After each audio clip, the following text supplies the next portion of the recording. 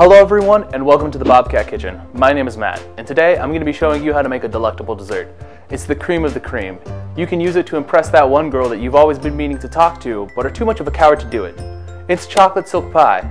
For this temptingly tasty treat, you will need one cup of butter, one and a half cups of fine sugar, two ounces of unsweetened baking chocolate, two teaspoons of vanilla, four eggs, one tub of Cool Whip, one pie crust, which can be graham or chocolate.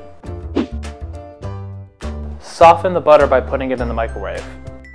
Put butter and sugar into a bowl. Mix thoroughly until sugar is no longer grainy.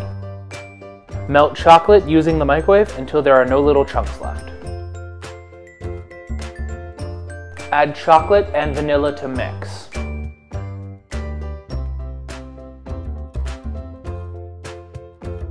Add eggs, two at a time, and make sure to beat them well.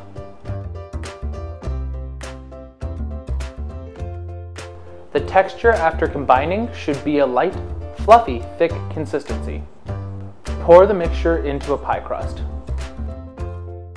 Cover the pie and put it into the fridge for two hours. Pull the pie out of the fridge. Put an entire container of Cool Whip on top of pie. If you want, you can add chocolate chips on top of the Cool Whip.